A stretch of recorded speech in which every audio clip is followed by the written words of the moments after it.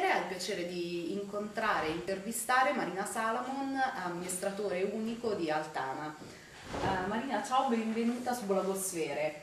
Uh, partiamo con un argomento in linea generale, le donne e il mondo del lavoro. Uh, come hai conciliato l'esigenza e il piacere di avere una vita familiare, perciò una famiglia tra l'altro molto numerosa e bella, con gli impegni di lavoro?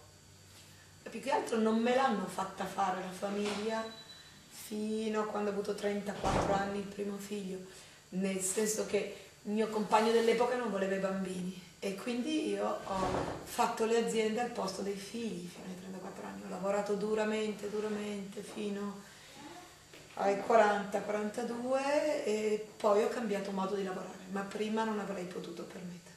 come, com'è la tua settimana tipo?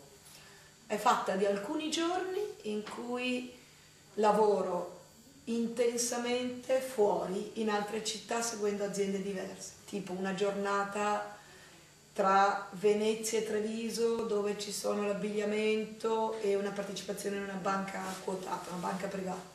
Una giornata a Milano in cui ci sono Doxa, Metodos e altre trattative una giornata in cui magari tra Emilia e Toscana apro altri fronti di trattative con altri industriali e altri giorni invece in cui lavoro in orario scolastico dal computer o teleconferenze per fare consigli e poi quando i bambini escono da scuola faccio la mamma due pomeriggi.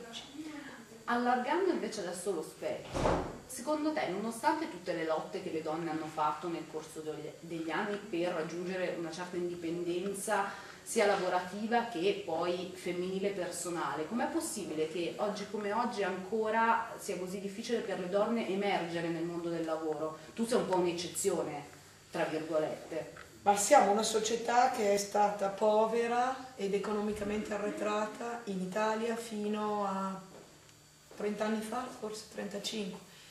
Per cui è come stessimo recuperando più generazioni in una se le francesi stanno meglio di noi e fanno anche il 50% di bambini in più di noi e lavorano al 50% in più di noi e fanno anche carriera molto molto più di noi, è perché hanno, come dire, una storia borghese, una storia di economia evoluta più antica, la storia di uno Stato più strutturato di noi.